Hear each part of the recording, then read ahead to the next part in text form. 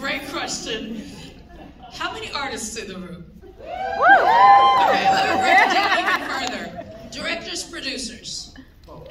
Okay? Um, the craftspeople who make it happen, cinematographers, editors, production design, there it is, actors. Okay. Copy that. Um, SAG in the house. Woo woo. Writers. Thank you, thank you. Um, this first dawned on me. I read the book, and um, and I didn't understand it. I didn't get it, and that made me upset. It's like, I, why why am I not getting it? I read the words, but I still didn't get it. I didn't understand what she was saying. I read it again and got a little closer, but I still felt like I'm missing something that everyone else was getting.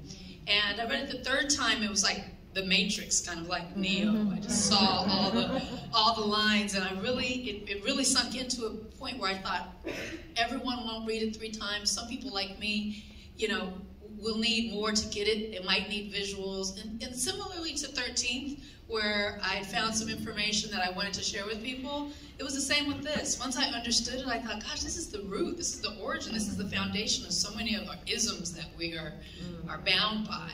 That how are we ever going to get through, cut through these challenges if we don't know where they come from or what the base, or we're not speaking the same language about them? So it really, uh, I was ignited by a, a, a, desire to have people to talk to about it, and and um, and just want to get the, the discourse going. Yeah, beyond the book. Thank you.